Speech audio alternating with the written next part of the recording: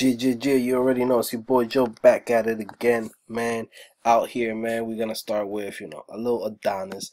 Get your feet wet with, you know, Node.js, which is uh basically it's JavaScript but in the back end. Okay, guys. So pretty simple.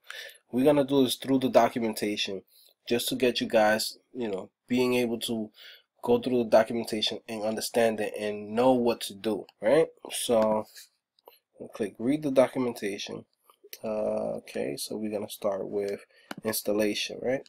This is just to get you started guys. So you need to install npm right? Node.js and npm so pretty much you click here.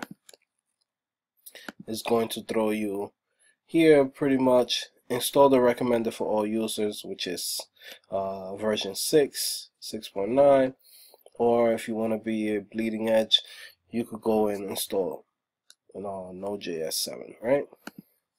All right. Then now you're gonna have npm. Now you're gonna be able to say npm install, right? So remember your folder where you keep all your projects, right? After you install Node, make sure Node works. You go node-v, okay.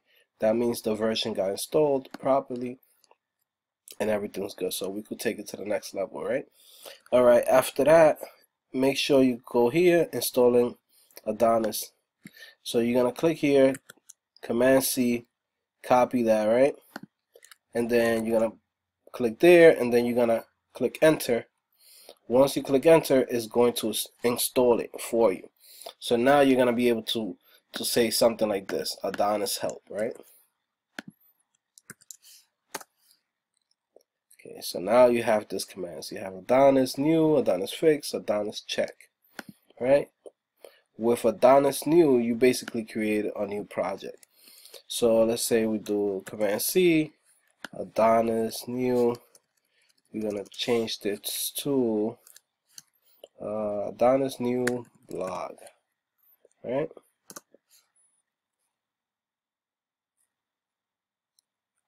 You gotta let it install okay guys. I'm gonna be right back. Basically this is gonna take a little while. All right? See you in a little bit. At it again. So pretty much you know Adonis already installed. We got our project running.